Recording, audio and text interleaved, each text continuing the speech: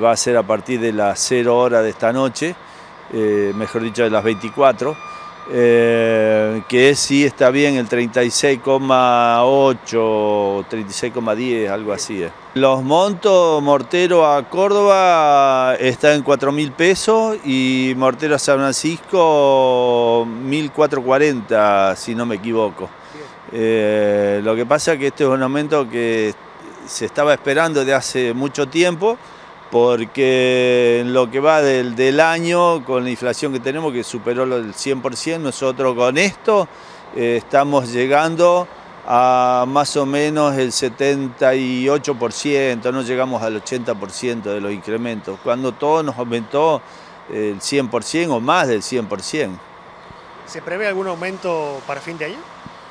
Eh, se va a gestionar, sí, porque esto lo gestiona a través de ACETAG y FETAP, que son las dos entidades que nuclea la provincia de Córdoba, eh, porque estamos muy atrás con lo que es, este, para ponernos al día, con lo que es tema de repuesto, combustible, imagínate combustible, todos los meses estuvo aumentando el 4, el 5, el 7%.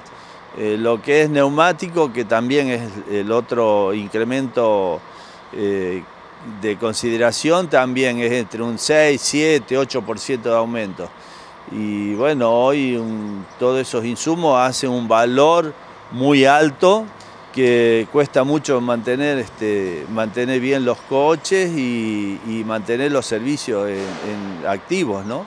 Por lo que se dice y se habló, estaba mirando un poco, septiembre, octubre, y claro que nos sirve porque nosotros con el previaje en la parte de turismo hubo un gran movimiento, o sea, todos los viajes que teníamos eh, fue ya con un 70-80% pasajero. Eh, en cambio, cuando no está el, previaje, no, no llegamos a esos valores. A nosotros nos sirvió y nosotros hicimos con previaje, sí.